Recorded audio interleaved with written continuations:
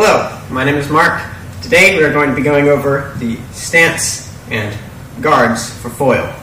To start off with our stance, you're going to have your dominant foot pointed forward directly at your opponent. Should be in a straight line forward. You don't want to be parallel or else you'll roll your ankle. Your back foot should be a comfortable distance behind you, pointed directly at 90 degrees. Squat down, get comfortable. You should be able to move pretty freely from here. Your torso should be not be turned toward, but be turned away from your opponent. This gives a smaller target area.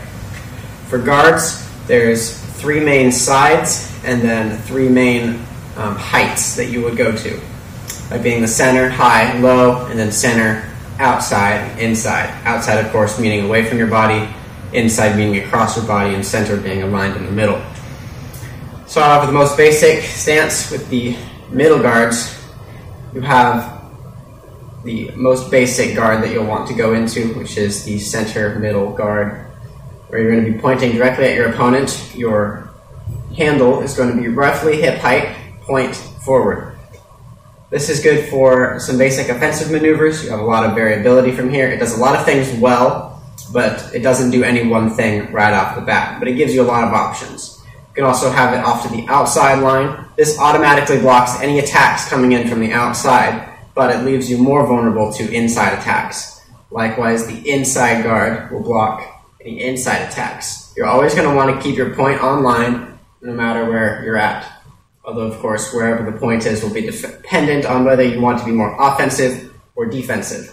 The more your point is forward, the more offense heavy you are and the more threatening you are. The more your point is back, the more area you cover when you swing your sword, thus the more defensive.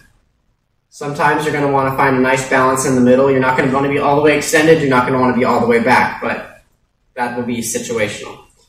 Um, from the middle guard, you can also go to the lower guard. Lower guards are better for baiting or um, tricking your opponent. These are also called fool's guards because they don't outright protect anything. Or is your opponent the fool for following it? Up to interpretation.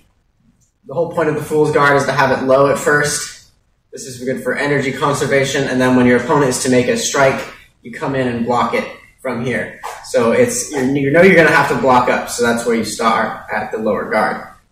Um, this is a very defensive posture. You're not going to want to really launch a lot of attacks from here because your attacks are all obvious, but also all of their attacks are going to be obvious as well. So it's kind of a, a mind game. Other thing is the high guard. You can have a high outside guard, a high middle guard, or a high inside guard. Now, these are a little bit more unorthodox, but these are better for blocking down and threatening your opponent through a new line. Because, you know, with the um, middle guard or the lower guard, you're always trying to go from essentially the same place. But from a high guard, you're coming above their guard. You have to be careful not to hit them in the face since that's not allowed in foil. Um, but it comes in handy. Higher guards, you're going to want to have your handle about head height, your point facing at your opponent.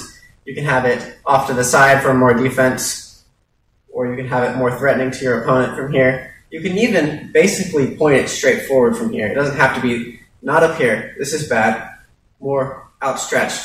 This is about head height, no higher. Point as far forward as you can. Thank you very much for watching, and I will see you in the next